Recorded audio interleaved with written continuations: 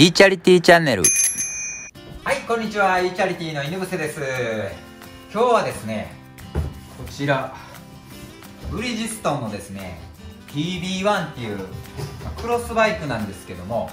これをちょっと組んでいきたいなと思ってます。TB1 の方ですねなんで買ったかというとなんか距離がねすごい1回の充電ですごい距離走れるっていうのを、えー、結構ですねネットのレビューで見てましてカタログ値でいくとエコモードで130キロっていうのをブリヂストンの方で、えー、公表してるんですけども実際にレビュー見てみると、まあ、それ以上走ってるのに全然バッテリーがなんかあとまだ70%とか60%残ってるみたいなのを見て、まあ、すごいですね。ちょっと興味を持ちましてでまあこれ、えー、自転車組んでね一回本当に何キロ走るのかっていうのをちょっとやってみたくてですねちょっと新車の方買ってみました。ま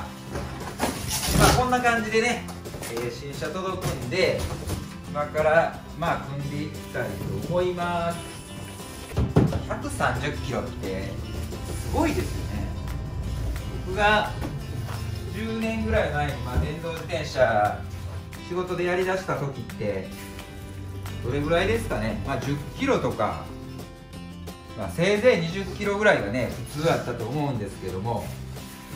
まあ、100キロ以上走って、ね、今から電動自転車乗る人は全然違う感覚になるんだと思うんですけど。できます。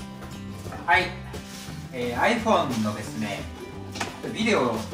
えたら広角で撮れるなと思ってちょっと急に思いついたんでちょっと広角モードに変えてみました。結構広い範囲映ってると思うんでちょっとこれでやっていきたいと思います。じゃあタイヤの方をつけていきます。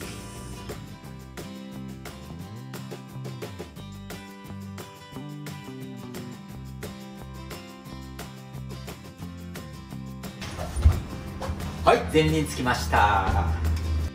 じゃあステムをつけていきます。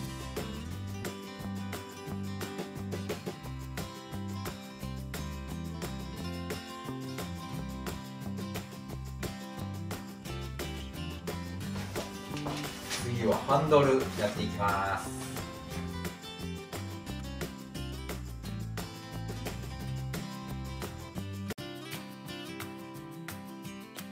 ハンドル完成です。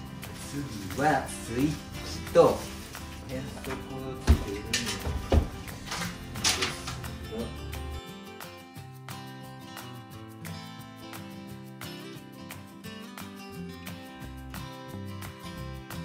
ブレーキレバーつけていきます。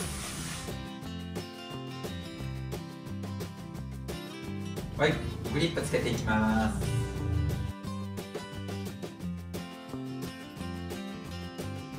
はいじゃあライトつけていきます。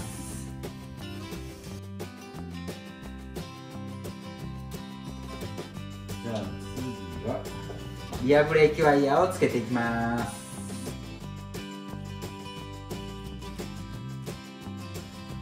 次はサドルつけていきます。このワイヤーのねカバーつけていきたいと思います。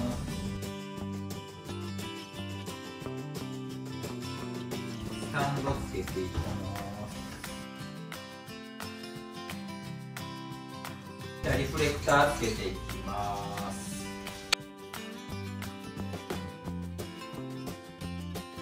ペダルつけていきます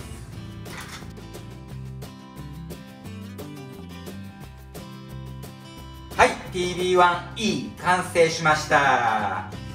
あこれまた火をね変えて、えー実際にねこれに乗ってどれぐらい走れるのかっていうのをちょっと試してみたいと思います